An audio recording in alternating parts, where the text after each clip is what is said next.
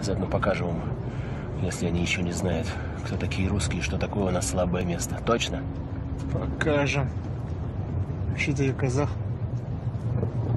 А казах что, не русский? Что ты мне голову морочишь? Мы же сейчас за Россию деремся, или за что? Да шучу. Шучу. За Казахстан будем драться.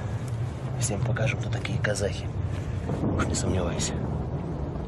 Договорились.